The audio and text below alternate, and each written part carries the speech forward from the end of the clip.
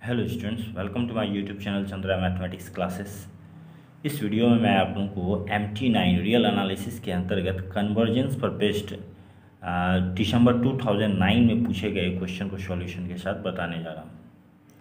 यहाँ पर क्वेश्चन है test the following series for convergence summation under root N cube plus one minus under root N cube minus one N is equal to one to infinity तो हम यहाँ पर इसे कैसे test करेंगे?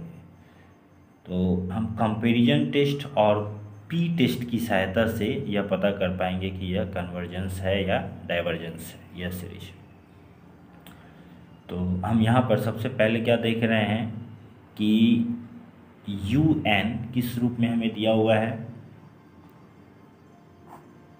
यू एन सीरीज़ हमें under root N cube plus one minus under root N cube minus one के रूप में दिया हुआ यानी एंथ टर्म जो है इस फॉर्म में है। तो सबसे पहला काम हमें क्या करना है? इस यू एन सीरीज़ का हमें रेशनलाइजेशन कर लेना है। यानी कि हम इसे न्यूमरेटर और डिनोमिनेटर में किससे मल्टीप्लाई करेंगे? Under root N cube plus one plus under root N cube minus one यहाँ पर under root N cube plus one minus under root N cube minus one इसके नीचे वन छिपा हुआ है और इसे मल्टीप्लाई कर देंगे किससे? Under root n cube plus one बस यहाँ यह साइन चेंज हो जाएगा। Under root n cube minus one by नीचे में भी डिनोमिनेटर में भी इसे ही लिखेंगे. N cube plus one plus under root n cube minus अब हमें यहाँ पर क्या प्राप्त हो जाएगा?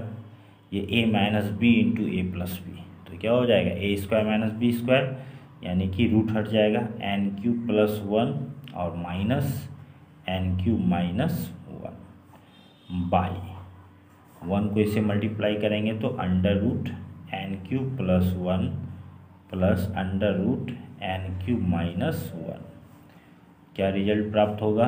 N cube plus one minus n cube minus minus plus by under root n cube plus one फिर plus under root n cube minus one plus n cube minus n cube cancel हो जाएगा is equal to two by under root n cube plus one plus under root n cube minus one अब हम इस you N series की सहायता से we n series प्राप्त कर लेंगे। वह कैसे प्राप्त करेंगे?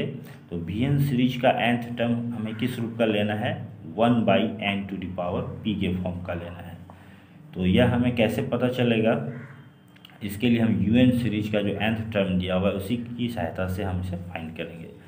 न्यूमरेटर में हाईएस्ट डिग्री वाला हम एन ले लेंगे और डिनोमिनेटर में भी एन का जो हाईएस्ट डिग्री है, उसे ले लेंगे। ठीक है? तो न्यूमिनेटर में तो एन का हाईएस्ट डिग्री नहीं दिया हुआ है, इसीलिए हम यहाँ पर n to the power zero मान के चलते हैं, यहाँ वन ले लेते हैं, ठीक है? और बाई नीचे में क्या है? एन का highest degree n to the power under root n cube यानी n to the power three by two या हम सिर्फ़ अंडर रूट एन क्यूब भी लिख सकते हैं, ठीक है? हम इसे मान लेंगे भी एन सीरीज़ का, ठीक है? Nth term let v n is equal to one by under root n cube इसे हम इस तरह से भी लिख सकते हैं is equal to one by n to the power three by two अब हम यह देखेंगे कि यह वी एन सीरीज़ जो है, यह कन्वर्जेंट है या डाइवर्जेंट है। तो हम पी टेस्ट की सहायता से यह बता सकते हैं कि यह क्या है? कन्वर्जेंट है, क्योंकि यहाँ पर पी का जो वैल्यू है वह वन से ग्रेटर बड़ा है। तो यहाँ लिखेंगे हम इसे इस तरह से। Since since three by two is greater than one three by two यानी कि वन पॉइंट फाइव जो कि वन से बड़ा है। Therefore therefore by p test p test summation vn is convergent अब हम limit of u n by v n when n tends to infinity निकालेंगे यदि उसका वैल्यू हमें नन ज़ीरो रियल नंबर और वह भी क्या फाइनाइट हो तो उस स्थिति में हम क्या कहेंगे कि यू एन और वी एन या तो कन्वर्जेंट हैं या डाइवर्जेंट हैं, ठीक है? तो चूँकि यहाँ पर वी एन क्या है? कन्वर्जेंट है तो अगर वी एन कन्वर्जेंट है तो यू एन भी क्या होगा? कन्वर्जेंट होगा। तो यहाँ पर हम लिखेंगे now limit u n n n tends to infinity is equal to u n का वैल्यू क्या है? Two by under root n cube plus one plus under root n cube minus one by v n अगर इसके नीचे v n का value देंगे one by under root n cube तो फिर अंडर रूट एन क्यूब ऊपर में जाकर मल्टीप्लाई हो जाएगा। तो यहाँ लिखेंगे अंडर रूट एन क्यूब ठीक है? तो यहाँ पर क्या हो जाएगा हमें? Two under root n cube by under root n cube plus one plus under root n cube minus one. अब इस अंडर रूट एन क्यूब को हम इसके नीचे लिख सकते हैं। Two by under root n cube plus one by n cube क्योंकि एन क्यूब पर भी रूट ही है, इसीलिए हम एक ही रूट के अंडर में इसे लिख लेंगे। फिर यहाँ पर भी n cube minus one by n cube अब हमें क्या प्राप्त हो जाएगा? Two by under root n cube by n cube one हो जाएगा, फिर plus one by n cube इसी तरह से प्लस यहाँ पर भी n cube by n cube one हो जाएगा minus one by n cube हो जाएगा। ठीक है? यहाँ पर लिमिट लगा देंगे। Limit n tends to infinity limit n tends to infinity यहाँ पर भी। Limit n tends n tends to infinity okay तो अब हमें यहाँ क्या वैल्यू प्राप्त होगा? जब एन टेंस टू इन्फिनिटी होगा तो उस स्थिति में यहाँ पर इसका वैल्यू क्या हो जाएगा? वन बाई एन क्यूब यानी वन बाई एन का हॉल क्यूब जिसके कारण वन बाई एन का वैल्यू ज़ीरो हो जाएगा तो ज़ीरो का क्यूब ज़ीरो होगा।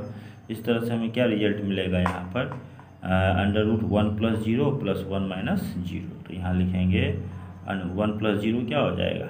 हम इस तरह से लिख देते हैं one plus zero plus under root one minus zero तो यह हो जाएगा टू बाई यहाँ हो जाएगा one plus one is equal to two by two is equal to क्या?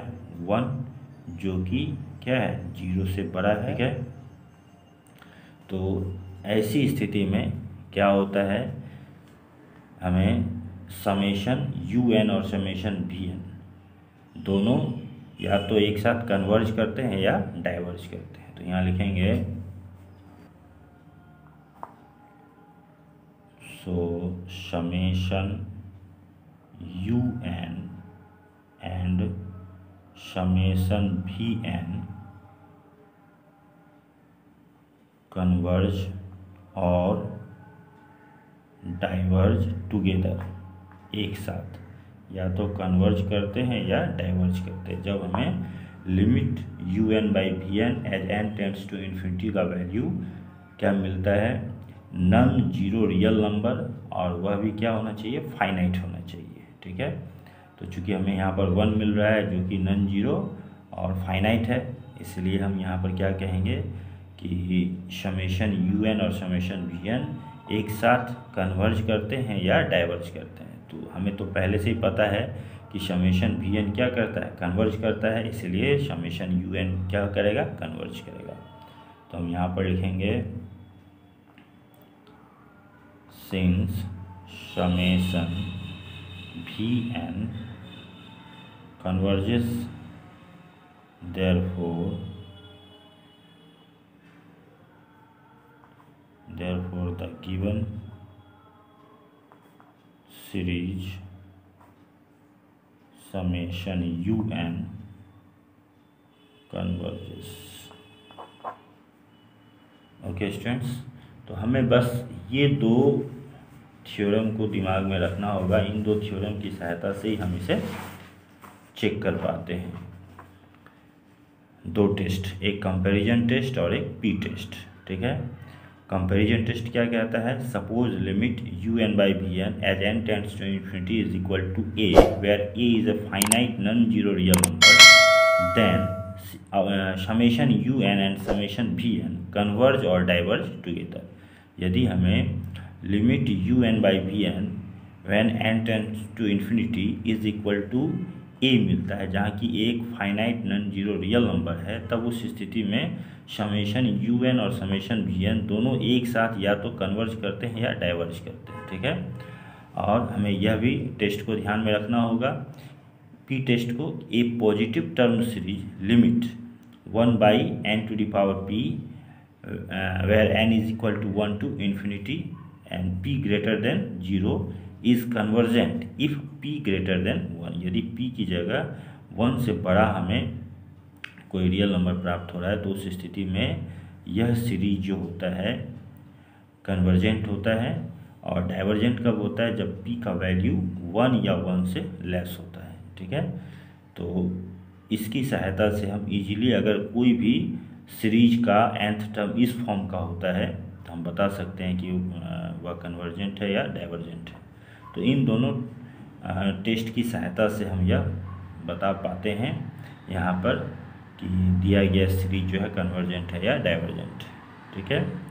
इस टाइप का सीरीज़ हमें जहाँ भी दिया हुआ हो one by n to power p nth term यानी कि प्रत्येक term one by n to power p के फॉर्म में हो, ठीक है? तो उस स्थिति में हमें यह कन्वर्जेंस और डाइवर्जेंस टेस्ट करना बहुत ही ईजी होता है पी टेस्ट की सहायता से। और जो हम भी एन निकालते हैं भी एन सीरीज़ वह भी एन सीरीज़ जो हम यू एन की सहायता से निकालते हैं और भी एन सीरीज़ का इसी टेस्ट की सहायता से हम पता लगा लेते हैं कि वह क्या है कन्वर्जेंट है या डाइवर्जेंट और जहाँ हमें भी एन सीरीज़ के बारे में पता चल जाता है कि वह कन्वर्जेंट है या डाइवर्जेंट है, और यह टेस्ट यदि हमें यदि हमें इस तरह का रिज़ल्ट मिल जाता है तो उस स्थिति में हम इजीली बता देते हैं कि यू एन कन्वर्जेंट होगा या डाइवर्जेंट होगा। Okay students thanks for watching